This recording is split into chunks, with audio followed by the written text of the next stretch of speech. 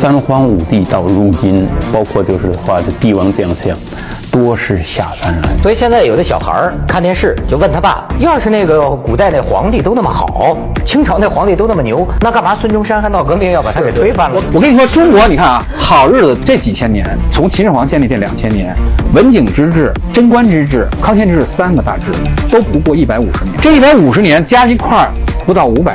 剩下全是大河，统治者只是压迫人民。太平国你知道死多少人？死七千五百万，中国那时候才四亿人，死的比第二次世界大战都多。所以我说啊，这个过去这个中国历史，包括现在有些人的解读啊，都是那种特别拿人民不当人的时候，特别残暴，死人无数的时候，反倒说这是我中华大帝国最扩张、最牛。你国家国家的你国家的内容是什么？是人民，人民的幸福，我认为高于国家的所谓我就觉得是开创历史的人。